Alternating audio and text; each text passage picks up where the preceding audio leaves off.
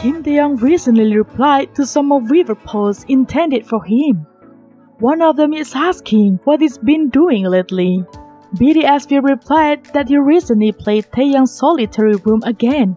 It's kinda game actually, but no one knew it was him.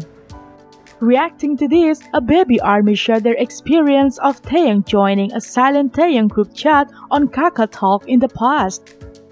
When he entered the room, Taehyung wrote, Wow, is this where they are sharing my memories?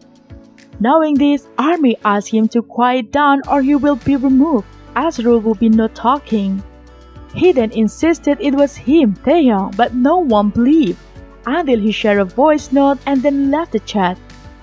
Will Taehyung experience the same treatment this time?